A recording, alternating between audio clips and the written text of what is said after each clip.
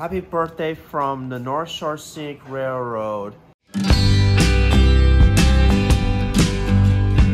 they all signed it. And They all signed Isn't that so nice? yeah. Awesome. Okay, what is in there?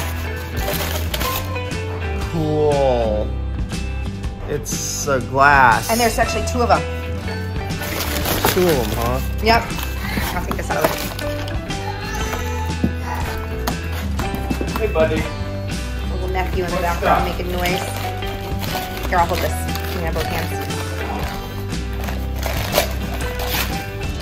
Oh, that, I didn't realize there were, okay, there's a mug. How cool is that? That's so perfect for you.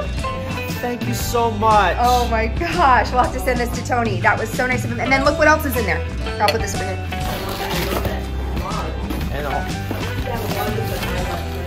got t-shirts. Yep, take a look at them. He let me pick these ones out.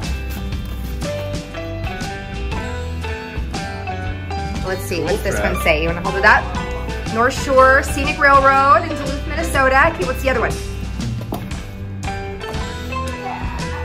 Daddy help, daddy help. Awesome. Lake Superior Railroad Museum. You wanna look at it, Trev? I haven't been to the Lake Superior Railroad Museum before. I know You haven't? Oh, cool.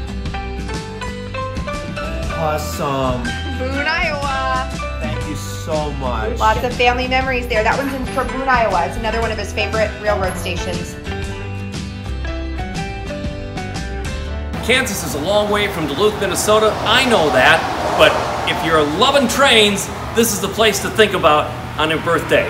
We're at the Lake Superior Railroad Museum. This is Joanne. My name is Ken. I'm the executive director, and this is going out to Trevor, who is a railroad enthusiast and is turning 30. So one of these days, Trevor, you've got to come to Duluth, see the William Crooks. It's the first locomotive ever to be in Minnesota, brought up the Mississippi River on a barge, built in 1861. It's older than you are.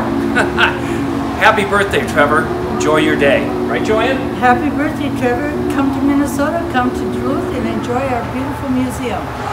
Tony and uh, Renee send their best too. Thank you so much, Tony. I'm very grateful and thankful for this. Happy birthday, Trev. I love you. Yeah, thank you so much.